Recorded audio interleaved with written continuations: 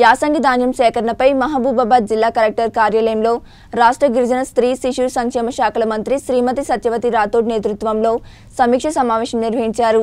ఈ సమావేశంలో మంత్రి శ్రీమతి సత్యవతి రాథోడ్ మాట్లాడుతూ యాసంగి వడ్లు కేంద్రం కొనలేని పరిస్థితుల్లో సీఎం కేసీఆర్ నిన్న కేబినెట్లో రాష్ట్రంలో పండిన ప్రతి గింజను రాష్ట్ర ప్రభుత్వం సేకరిస్తుంది.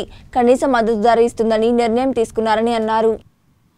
రాష్ట్ర రైతాంగం కొద్ది రోజులుగా పడుతున్న ఆందోళనకు ఫుల్ స్టాప్ పెట్టారు. యాసంగిలో తెలంగాణ బాయిల్డ్ రైస్ కొనమని కేంద్రం షరతులు పెట్టడం ఖచ్చితంగా కొనాలని సీఎం కేసీఆర్ చెప్పడం చూశామన్నారు. ఈ పరిస్థితి ముందే ఊహించి యాసంగిలో తక్కువ వరి వేయాలని సీఎం కేసీఆర్ రైతులను కోరిన మేరకు ఈసారి ఇరవై లక్షల ఎకరాల్లో తక్కువ వరి వేశారు. అయినా ఈ ధాన్యం కూడా కొనమని కేంద్రం అనడంతో రైతులకు అండగా నిలబడాలని నిన్న జరిగిన సమావేశంలో సీఎం కేసీఆర్ నిర్ణయం తీసుకున్నారని అన్నారు. ఈ కార్యక్రమంలో జిల్లా కలెక్టర్ శశాంక్ జిల్లా అధికారులు పాల్గొన్నారు.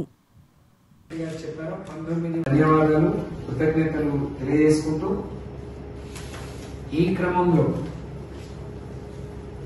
మరి గౌరవ కలెక్టర్ గారు అనేక విషయాలు ఏ విధంగా ఎంత ఎన్ని ఎకరాలు మనం పట్టేసుకున్నాం ఎంత దిగుబడి వస్తుంది అందులో ఎంత వ్యక్తిగతంగా ఉపయోగించుకుంటారు లేకపోతే సన్నాలు ఉంటే ఇంకెక్కడైనా అమ్ముకుంటారా లేకపోతే ఏమైనా విత్తనాలకు వాడుకుంటారా? మనకు ఎంత వస్తుంది? మనం ఎంత కొనుగోలు చేయాల్సి వస్తుంది? దానికి ఎంత చెల్లించాల్సి వస్తుంది? మరి ఇప్పటికే పొద్దునే సిఎస్ గారు కలెక్టర్ గారితో కాన్ఫరెన్స్ కూడా మీరందరూ కూడా పాల్గొని ఉంటారు. కాబట్టి మనం పక్కడబందీగా మరి ఇంత మంచి నిర్ణయం రాష్ట్ర ప్రభుత్వం తీసుకుంది కాబట్టి రైతులకు ఎక్కడ నష్టం జరగకుండా ఇబ్బంది జరగకుండా ఆందోళన చెందకుండా ఎందుకంటే మనం ఇప్పుడు ఏప్రిల్ నెలలో ఉన్నాం.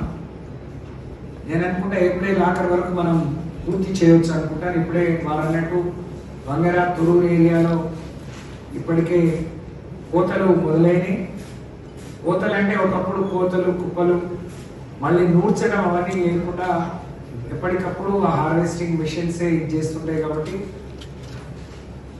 రైతులు ఏం జరుగుతుందని తీసుకొచ్చిన తర్వాత ఇంట్లో పోసుకోలేరు. అమ్మటానికి పోతే ఒక విధంగా అడవిలాగా ఉంది. కానీ ఇప్పుడు పోయిన ఎక్స్పీరియన్సెస్ని దృష్టిలో పెట్టుకున్నట్టు చూసినట్లయితే